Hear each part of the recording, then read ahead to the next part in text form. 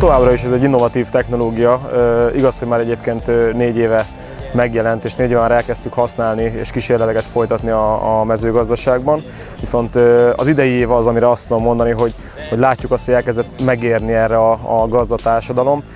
Nagyon sokat hozzájárult a, a precíziós pályázat, ugye, amit kiírtak, és nagyon sok mindenki ezáltal ismerte meg ezt a technológiát, és vált sokkal nyitottabbá, mint ahogy korábban volt. Itt a technológiáról annyit kell tudni, hogy, hogy rendkívül hatékony, és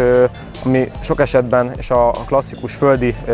technológiáktól eltérő, hogy nincsen taposási kár, illetve nincsen megközelíthetetlen terület, és ezzel ugye nem azt mondom, hogy, hogy kiváltani lehet a földi gépeket, mert főleg a nagy táblák esetében nem lesz még feltétlen olyan hatékony a munkavégzés, viszont ugye kisebb területeken, nehezen megközelíthető dimbes dombos helyeken, vagy akár sok akadályjal tarkított területen tökéletesen tud funkcionálni a gép, és mindezt úgy, hogy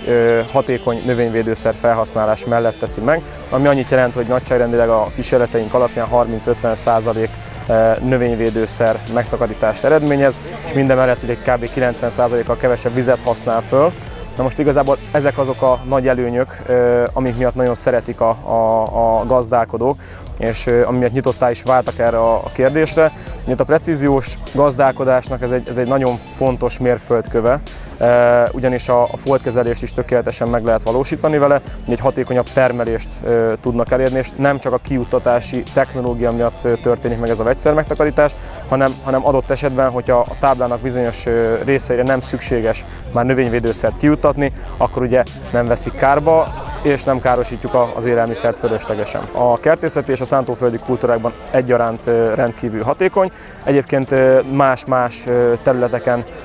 funkcionál sikeresen. Igazából itt a, a gyümölcsösben például volt olyan kísérletünk idén, ahol a, a virágzó körte ültetvénybe, egy körte gyümölcsösbe meg tudtuk mondani az, hogy nagyságrendileg milyen terméshozam várható. Ugye ez nyilván a gazdálkodó számára és az ő felvásárlónak a számára egy nagyon fontos, nagyon hasznos információ, és nyilván a virágzáskor már detektált problémákat tökéletesen tudtuk kezelni később